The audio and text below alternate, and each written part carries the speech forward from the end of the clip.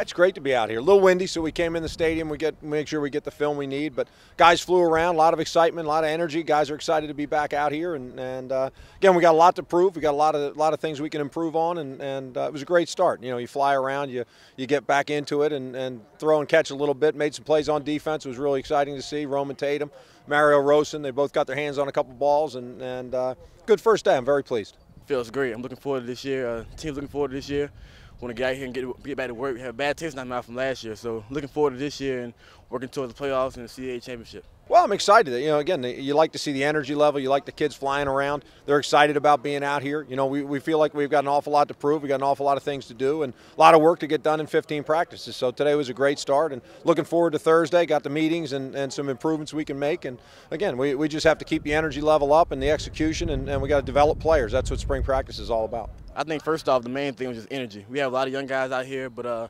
everybody's out here excited. We're all competing for a spot. No, every spot is up for grabs right now, so we're all just looking forward to working hard each and every day and becoming dominant, hopefully it's exciting. You know, you, get out here, you have Trent Hurley practicing this spring, which is fun to see, and, and he did a terrific job. You know, Michael Johnson's out here. Uh, Nick Boyle's not practicing, but he did a great job from a leadership perspective. You know, Benny Curtis is out here, do, you know, did a great job. Pat Callaway's out here doing a great job. You know, we got a lot of guys working. Vince Hollerman, Tinsley, you know, these guys are, are working really, really hard, and they've done a great job in the offseason, and it carried over to practice one. So I, I'm really excited about what I saw.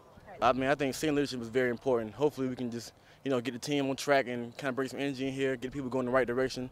I think that's the main thing towards, we want to be a player team actually, so that's just the main thing getting us to our, towards our goal. Get all day, tackle three, one, two, three, tag.